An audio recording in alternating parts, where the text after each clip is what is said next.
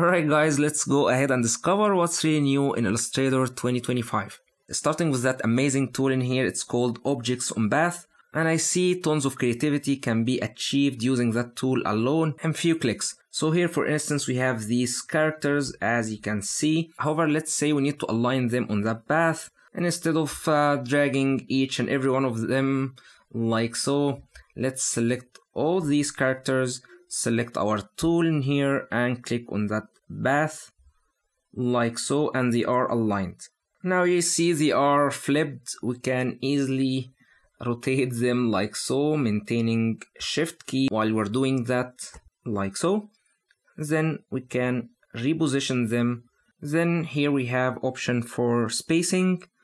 So we can start bringing them together. Also we can start rotating them from here along the path. Very cool tool as you can see. And once you're happy with that, you can uh, disable that curve selecting your direct selection tool clicking here delete that one and it's gone. Also let's quickly undo that and let me show you guys another way to edit these options. Once you have your shape selected you can go to object objects on path if they are not expanded you can expand them. So you can maybe easily remove the path you do have options as well where you can reset them as they were or change your anchor point. Another example if you put them on a circle, so let's see that in action. Selecting them again, let's select our object on path tool, hovering over that circle, clicking in here, we have them aligned. we can change our reference point like so by clicking in here, where they're gonna be inside or outside from here. We can start rotating them 180 degrees. And let's change reference point.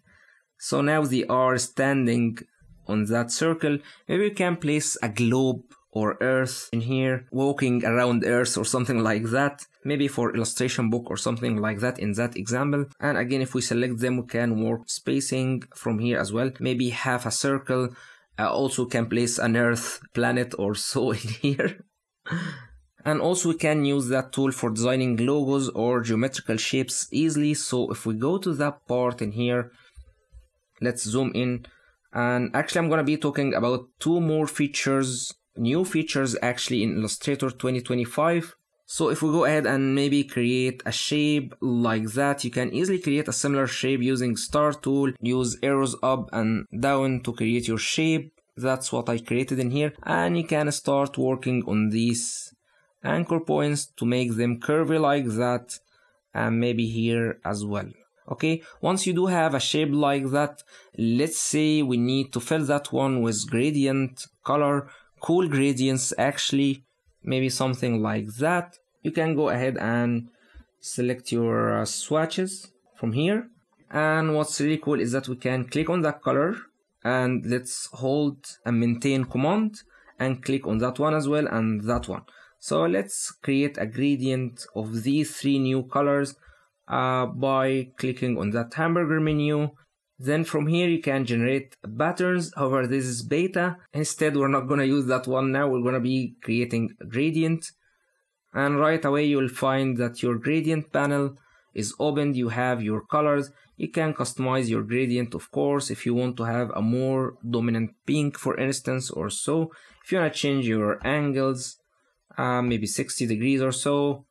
If you want to change type radial instead and you can add that gradient color to your swatches if you want by dragging that one from here to there. I already did that before as you can see. So that's one cool feature to create gradients easily like that. The other cool feature is that we're going to be deleting that one.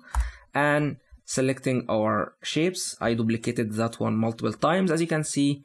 Then we can select our new tool and click on the path. And instantly like that we do have a logo, if you will.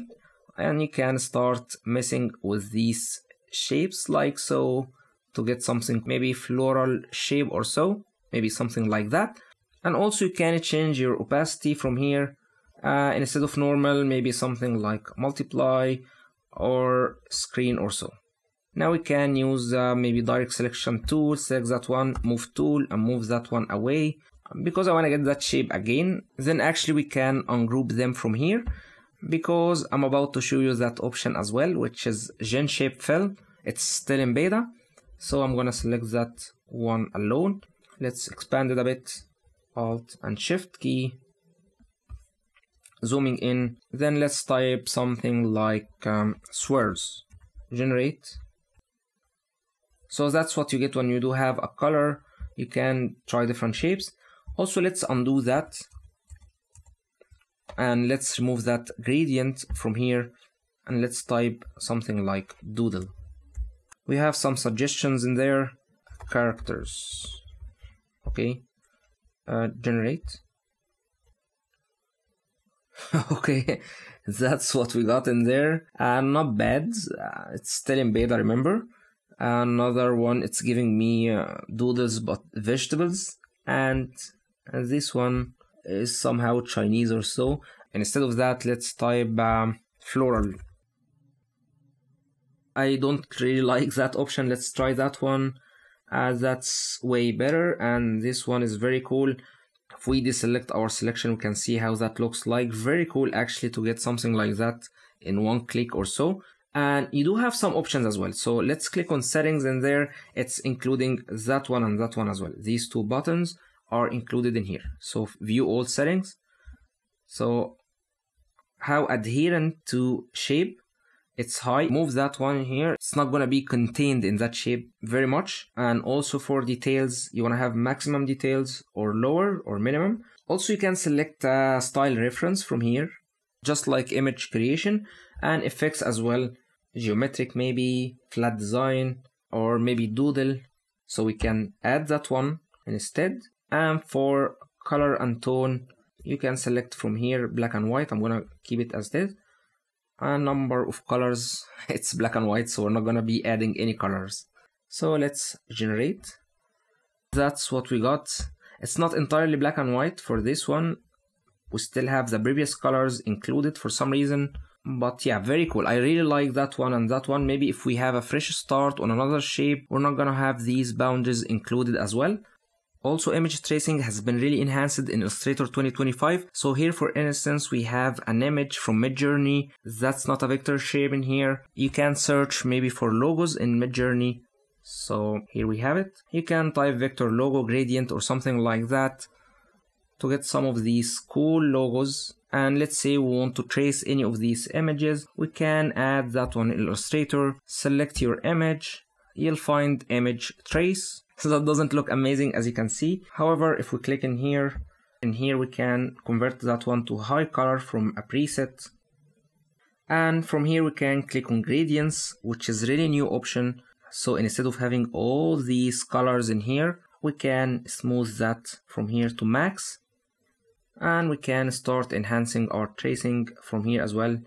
Maybe working on our path, try that way or the other way also can reduce corners and maybe work on noise as well. So probably we're not going to use that one as a logo, but it's really cool to have that gradient feature in here.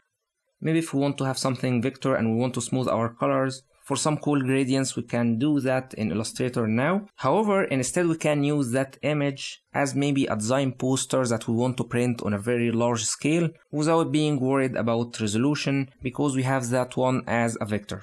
Hope you enjoyed that one, guys. That was Khalil Ibrahim with you. Stay creative, and I'll be seeing you in next one.